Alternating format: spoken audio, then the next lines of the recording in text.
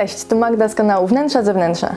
W tym filmie pokażę Wam niedużą kawalerkę, w której jest sporo sprytnych patentów pomagających wygodnie funkcjonować na niedużej przestrzeni. Większość osób, kiedy słyszy o mieszkaniu na 20 metrach, to łapie się za głowę, myśli pewnie o jakiejś klitce, o noże. Tymczasem ja oczywiście w dużej mierze z przyczyn finansowych, natomiast częściowo też właśnie z takiej przekory, stwierdziłem, że czemu na takich 20 metrach by sobie nie pomieszkać. Szukałem nawet mniejszych mieszkań, 16-metrowych, takiego mi się nie udało niestety e, kupić. No i okazało się, że kiedy o planowaniu takiego mieszkania myśli się nie na poziomie dwóch wymiarów, tylko w trzech wymiarach i o wykorzystaniu każdego zakamarka, który tutaj jest do e, wykorzystania, to można tutaj naprawdę przyjemnie, komfortowo mieszkać mieszkać nie tylko w jedną osobę, ale nawet w dwójkę, tak jak ja tutaj mieszkam aktualnie e, z żoną. Mamy tutaj nawet swoje mini kino e, na suficie zamontowane. E, więc o szczegółach opowie Wam dalej Magda. Z mojej strony to już wszystko. Dzięki, zapraszam. Zaczynamy tradycyjnie przy wejściu i od razu nasz wzrok może przykuć wielka lustrzana ściana, w której ukryte są również drzwi do łazienki.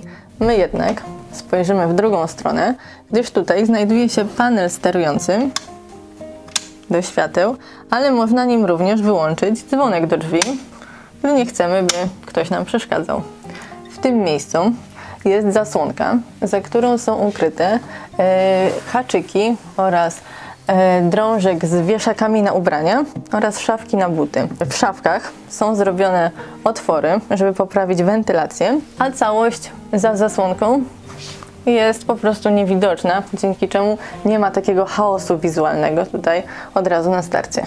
Teraz przechodzimy do pokoju, w którym jest bardzo ciekawa konstrukcja. Kuchnia została zrobiona na podwyższeniu, a pod spodem jest ukryte łóżko, którego jest dostęp z tej strony. Wystarczy przestawić krzesła, jest nawet na nie specjalne miejsce w szafie i tutaj jest szuflada, w której znajduje się materac. Wystarczy wysunąć pościelić i można spać.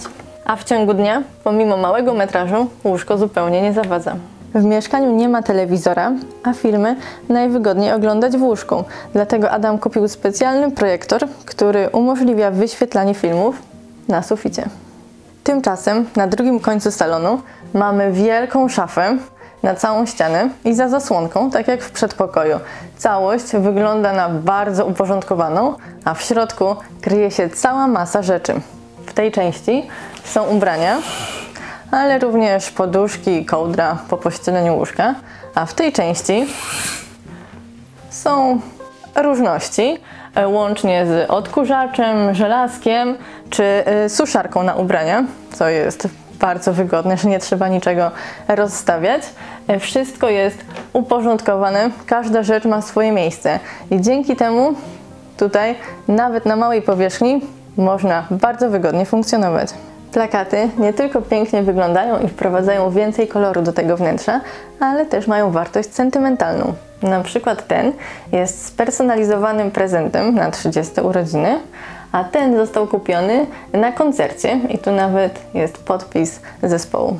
Przy oknie nie ma zasłon, ale za to są plisy, które charakteryzują się tym, że można je ustawić w dowolnym miejscu na oknie.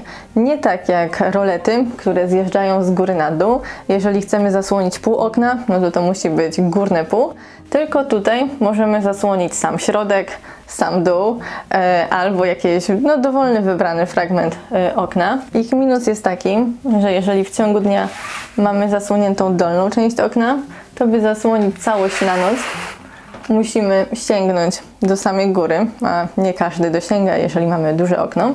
Natomiast w przypadku małych okien i zwłaszcza w przypadku mieszkań na parterze mocno polecam. Te są akurat zaciemniające, ale w przypadku jasnych, przepuszczających światło mogą się świetnie sprawdzać, żeby zasłaniać dolną część okna, nawet przez cały dzień, bo światło i tak będzie trochę przechodzić. Większość będzie wpadała górą okna, a sąsiedzi przechodzący chodnikiem pod oknami nie będą do nas zaglądać. W zabudowie kuchennej od strony salonu są książki, dlatego tutaj w kuchni szuflady mają różną głębokość. Te, które są niżej, na wysokości półek, są płytsze, a ta na samej górze jest głębsza. W tej szafce znajduje się pralka, która kończy się gdzieś na tej wysokości, a powyżej jest piekarnik, do którego jest dostęp od strony kuchni. Ze sprzętów AGD tu mamy jeszcze ukrytą zmywarkę, mikrozmywareczkę, która ma tylko jeden poziom, ale tak małym mieszkaniu dla dwóch osób wystarcza. I tu dalej oczywiście jest też lodówka podblatowa. Na Waszą uwagę zdecydowanie zasługuje też organizacja w szafkach górnych. Zobaczcie, jak wszystko jest tu uporządkowane, a każda rzecz ma swoje miejsce. Nie ma tak, że coś wyleci nam na głowę. Do każdej pokrywki mamy wygodny dostęp. Szafka nad zlewem otwiera się do góry jest tak wymierzona, by właściciele mieszkania się tutaj swobodnie mieścili. Ja mam duży margines nad głową i tutaj jest ukryta suszarka. Przy zmywaniu naczyń od razu można schować do szafki i na blacie cały czas jest porządek. Ciekawa jest również półka na deski oraz wieszak na kieliszki. One tu nie tylko mogą się suszyć, ale mogą cały czas wisieć i są łatwo dostępne. Pod samym sufitem nie ma zaślepki, tylko jest jeszcze jedna szafka, która pozwala na przechowywanie płaskich przedmiotów. W ten sposób przestrzeń jest wykorzystana w 100%. Łazienka, jak pewnie się domyślacie, jest nieduża, a co więcej, została jeszcze dodatkowo pomniejszona podczas remontu, by odzyskać trochę miejsca na kuchni i pokój. I tutaj mamy szafkę e, z lustrzanym frontem, szafkę lustro, rozwiązanie, które często Wam polecam. E, I taki e, dozownik do mydła wbudowany. Tutaj się otwiera, wlewa mydło i można z niego korzystać. Nie stoi dodatkowy przedmiot na półce, tylko wystaje sama główka. Z dekoracji, które mamy w tym pomieszczeniu, na uwagę najbardziej zasługuje ta, gdyż jest totalnie wyjątkowa. Podczas wycieczki na szlaku tak się złożyło, że akurat e, pan wymieniał znaki na nowe i starych nie chciało mu się nosić, więc bardzo chętnie się pozbywał i rozdawał turystom. W ten sposób powstał oryginalny, wyjątkowy i pewnie niepowtarzalny haczyk na ręczniki i szlafroki. W tym filmie to już wszystko. Teraz czekam na Wasze komentarze. Dajcie znać, na jakich metrażach Wy mieszkacie. Pamiętajcie też o łapkach w górę, subskrybowaniu kanału i zajrzeniu na nasz Instagram.